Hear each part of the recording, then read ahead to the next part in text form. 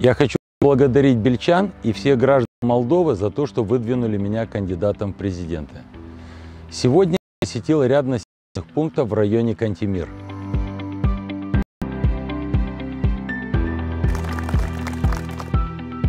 Вы поймите, проблема с дорогами у нас следующего характера, к сожалению.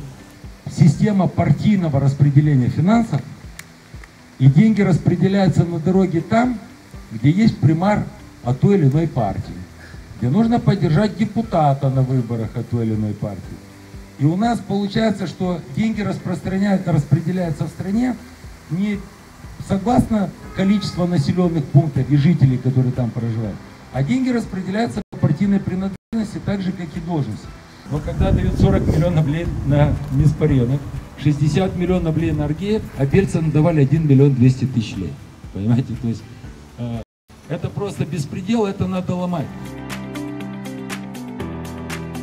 Eu mă, întâl- mă întâlnesc cu oamenii din Transnistria, care trăiesc acolo. Nu cu начальники, am direct cu.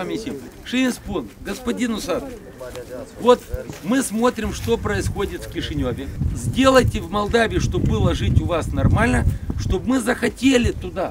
Но, ребят, ну не получится сегодня жесткого вмешательства уничтожить коррупцию.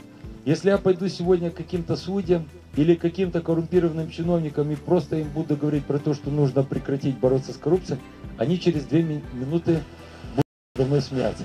Если я им скажу так, как я знаю, они через две минуты будут плакать. Поэтому для меня пусть лучше плачут они, главное, чтобы вся страна аплодировала. Спасибо. Вы много лет ждали настоящего народного президента. И он у вас будет.